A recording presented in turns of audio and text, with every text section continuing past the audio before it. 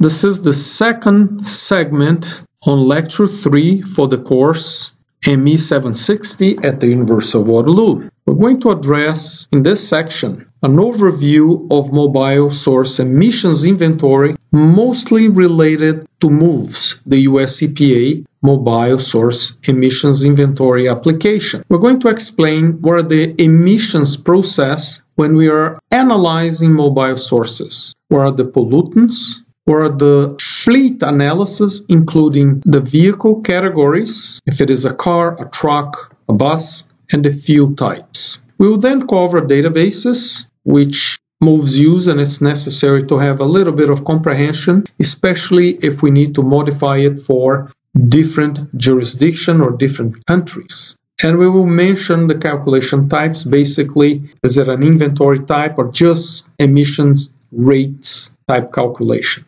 MOVE stand for Motor Vehicle Emission Simulator, a very advanced model to compute mobile sources for on-road vehicles. Typical applications in the United States for state implementation plans, and the Clean Air Act requires transportation conformity, meaning roads also must meet the Clean Air amendments of 1990. And these are demands that roads will behave in terms of regulatory evaluations as if they were factories, meaning cannot exceed air quality standards. On the emissions, emissions processes, how we compute the emissions. We have running emissions, such as on a road, could be smooth running, no interruption, car is traveling on an uncongested road, for example. And we also have interrupted running, and this would be downtown in any city where you have stoplights.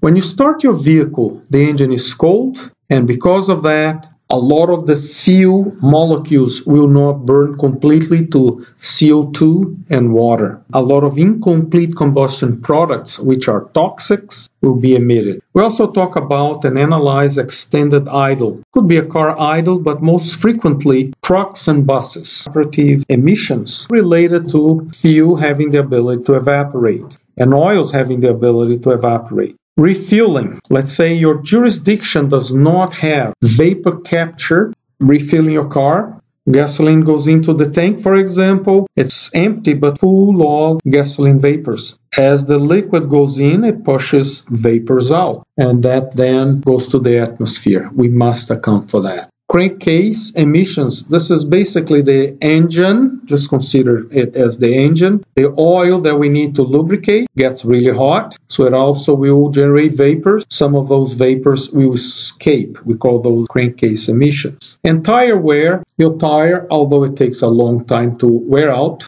as you drive, it emits a little bit of particles, but if you account for the thousands and thousands of cars on the road, that builds up to some significant numbers. As you brake, the brake pad will also emit particles to the atmosphere. We also account for that. Pollutants, we have the hydrocarbon HC, we have carbon monoxide, CO, have NOx, NH3, and SO2. Let me talk about the HC, the hydrocarbons. There are many ways to cut and slice and report and use the information from hydrocarbons that are emitted to the atmosphere. The one I focus mostly, especially on our course, is breaking it down into volatile organic compounds, specific components. Example, you fill up your tank, the gasoline vapors will be composed of benzene, toluene, xylene, heptanes, octanes, etc. So we break it down those constituents. That's how we're going to handle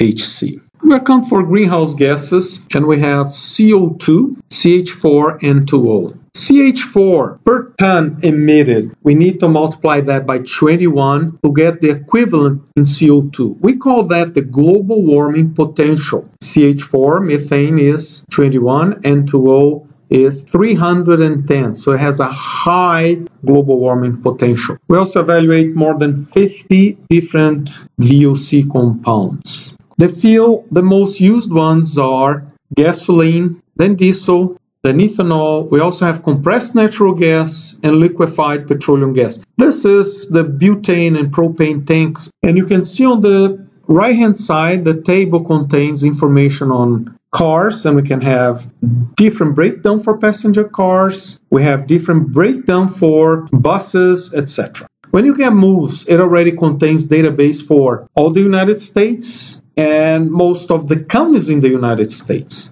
If you are going to use that internationally we need to modify those databases. If you're in the united states you can use those but you can also improve on those at a county level for example when you run moves, you need to create your own input file. How moves should run, it's called a run spec in moves lingo. And the input database, they can be at county level, project scale levels, we have national levels. You don't have to worry about moves if you are using default modes. These databases are well defined, lots of extensive measurements, and once Moves runs, it will save all the output into its own database. And here how it works. We have the run spec, the input file for Moves, the input dataset. You go through the Moves GUI, it is developed in Java, and you process that, and it will generate the output. Then you post process the output for many uses.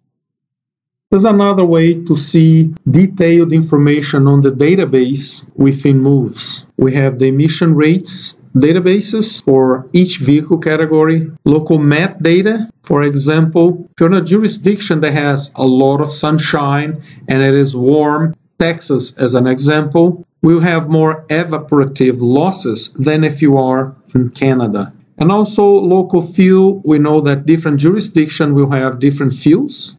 And even if everything comes from the same refinery, you could have places that use more corn ethanol. So we need that data. At national scale, we will have fleet and activity, and this is average vehicle miles traveled or vehicle kilometers traveled. Activity is basically driving cycles plus the T's. County scale, fleet activity, project scale, much smaller, roadways, planning for new roadways is an example of project scale. Adapting moves to other countries. Have tier one way of doing things. Use the county data manager. It's a tool within moves. And then you could modify to adjust. This is the quickest way to adjust moves to work, for example, in Kuwait. Enter local activity, local VMTs, and the fleet distribution. Fuels in a different country may be different including other databases within MOVES, specific emission standards. Let's say California likes to change their emission standards more often than other places. Someone in California can quickly adjust this to a new uh, way of processing this in MOVES. I have to remind you that I use the example of California, but California has its own emissions model for mobile sources and it's called EMFAC. Local technologies and local standards, limits that is imposed, new types of combustion or new catalysts.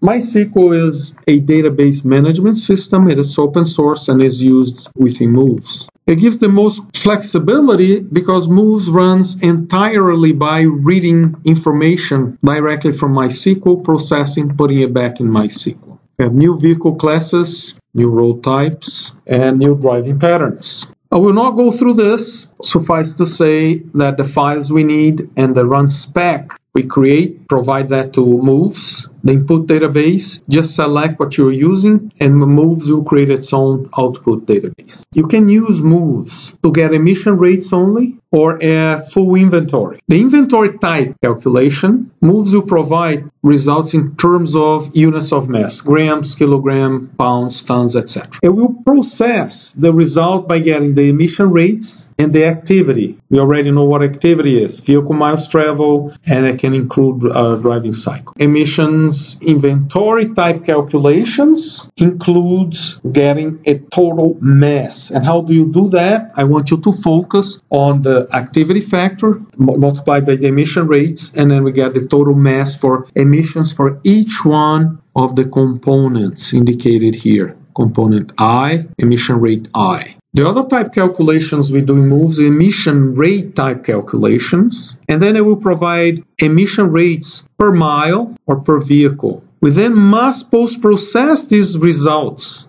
by doing the same thing I presented before. Emission rates by vehicle activity.